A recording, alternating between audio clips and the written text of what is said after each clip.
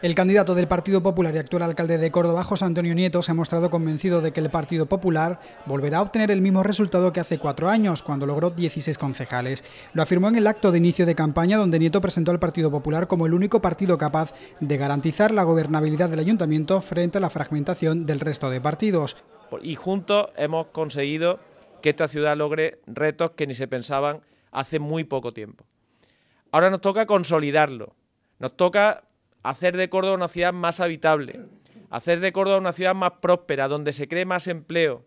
hacer de Córdoba una ciudad más solidaria, donde los que lo están pasando peor sientan que hay un ayuntamiento a su lado que le arropa y que le ayuda. José Antonio Nieto mira el futuro de Córdoba con optimismo y ha pedido la confianza de los cordobeses para consolidar un proyecto que comenzó hace cuatro años. Las personas que de manera anónima sí quieren que Córdoba siga mejorando, sí quieren que el Partido Popular siga gobernando esta ciudad y nos dicen permanentemente que sigamos adelante, que lo hagamos con sentido común y que no nos preocupe cometer errores, porque el que hace cosas se equivoca. Nieto agradeció a todo su equipo el trabajo realizado hasta el momento y destacó que han sido los populares quienes han obtenido el segundo mejor dato de las municipales de la ciudad de Córdoba.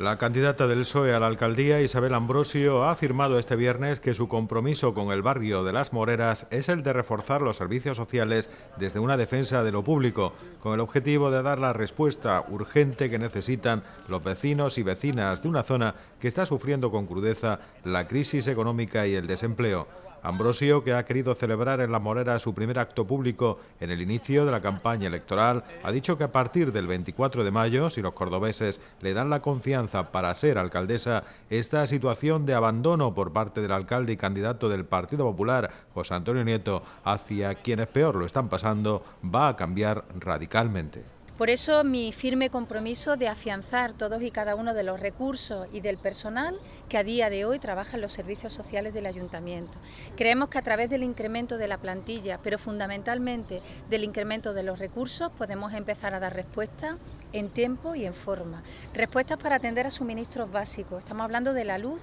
y estamos hablando del agua. Dos necesidades fundamentales para muchos vecinos y vecinas de este lugar de la ciudad. La apuesta de Isabel Ambrosio es trabajar de la mano de las asociaciones y de los colectivos con los que se está reuniendo y que, como ha destacado, tienen ese diagnóstico de la realidad que están padeciendo muchas familias. Isabel Ambrosio se ha comprometido, por tanto, a reforzar los recursos y el personal que el ayuntamiento dedica a los servicios sociales para poder dar respuesta a los ciudadanos.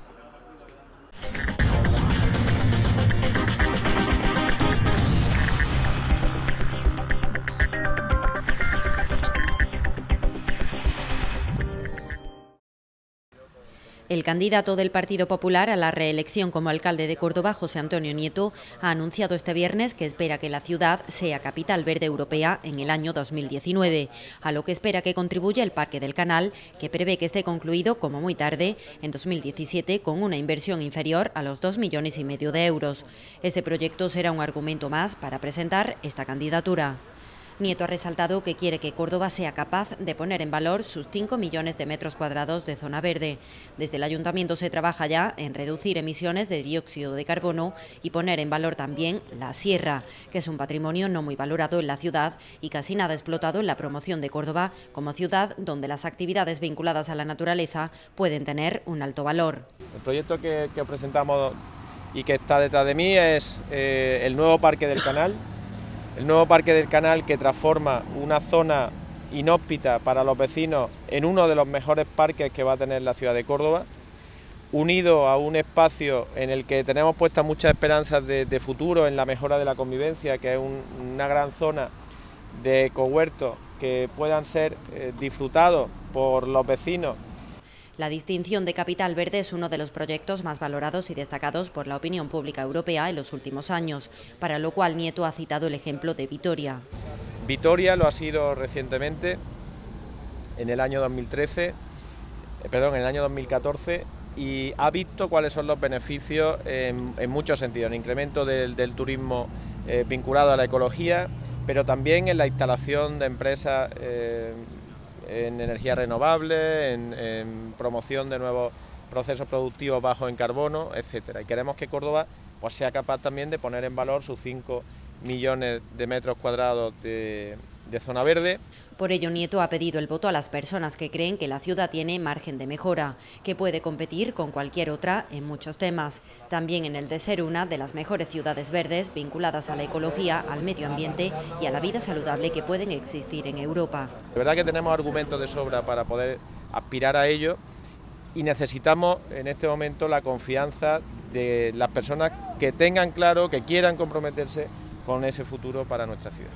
La capital verde europea puede ser cualquiera de cualquier país, siempre que cumpla una serie de parámetros y requisitos y garantice con su candidatura que su futuro va a estar comprometido con este desarrollo ecológico de la ciudad. Ya se ha firmado el acuerdo de cesión de los terrenos con la Fundación del Córdoba Fútbol para que pueda construir en los terrenos del Parque del Canal la ciudad deportiva. Nieto ha avanzado que los movimientos de tierra comenzarán en breve.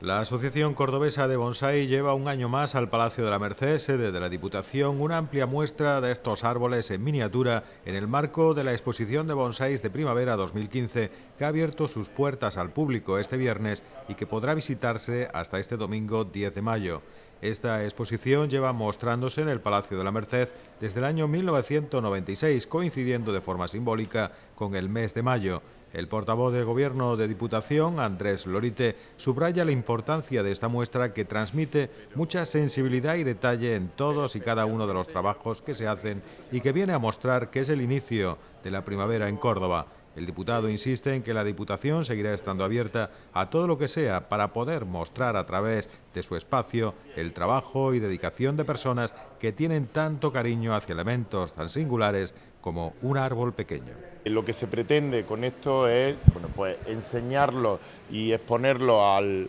público cordobés en general y bueno, pues también animar al cuidado, al cuidado de, estas especies que son especies arbóreas, aunque bien es verdad que son de pequeño tamaño. En la exposición se exhiben unos 80 de estos árboles en miniatura de 25 especies diferentes. La Asociación Cordobesa de Bonsai organiza esta y otras actividades a lo largo de todo el año con la colaboración de las diferentes administraciones públicas para dar a conocer las características del bonsai, que nació en China en el siglo VI a.C.